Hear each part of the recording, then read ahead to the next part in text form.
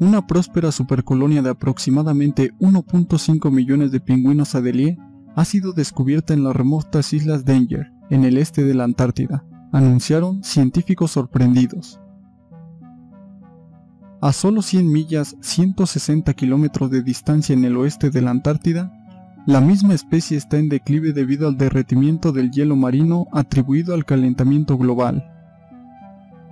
El primer censo completo reveló que las islas Danger albergan más de 750.000 pares de pingüinos adelie, más que el resto de la región de la península de la Antártida combinada, informó el equipo incluía la tercera y cuarta colonia de pingüinos adelie más grande del mundo. El hallazgo es ciertamente sorprendente y tiene consecuencias reales en la forma en que manejamos esta región, dijo a la AFP la coautora del estudio Heather Lynch de la Universidad Stony Brook. Las islas, que se encuentran en la punta de la Antártida más cercana a Sudamérica, rara vez han sido visitadas, y el nuevo descubrimiento fue gracias a los satélites de monitoreo de la Tierra, dijo el equipo de Estados Unidos, Gran Bretaña y Francia. Esto se llama Danger Islands por una razón, explicó Lynch.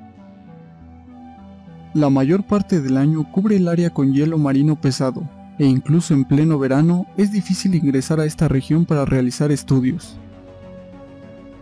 La evidencia de la colonia de pingüinos previamente desconocida surgió por primera vez en los datos de los satélites de monitoreo de la Tierra Landsat, dirigidos por la NASA y el Servicio Geológico de los Estados Unidos. Lynch y su equipo fueron y miraron imágenes de mayor resolución, para confirmar la mancha de guano que nuestros algoritmos habían recogido en las imágenes de Landsat cuando la información de Landsat sugirió originalmente la presencia de cientos de miles de pingüinos en las islas, pensó que fue un error. Nos sorprendió encontrar tantos pingüinos en estas islas, especialmente porque algunas de estas islas no tenían pingüinos. Es un hallazgo verdaderamente sorprendente.